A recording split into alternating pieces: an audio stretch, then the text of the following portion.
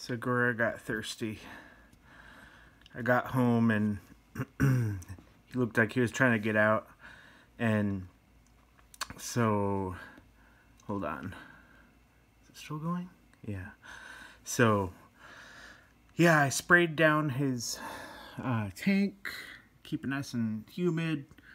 Um, filled up his water. Oh, he was thirsty. And I think he's hungry too. I'm gonna go over to Petco and try and see if I can get him a, a live rat or or mouse or something because he hasn't eaten since I got him. Um, and so he's got to be pretty hungry. So, ah, oh, Segura, too cute. Are you gonna go hide now? Okay. Oh, so precious.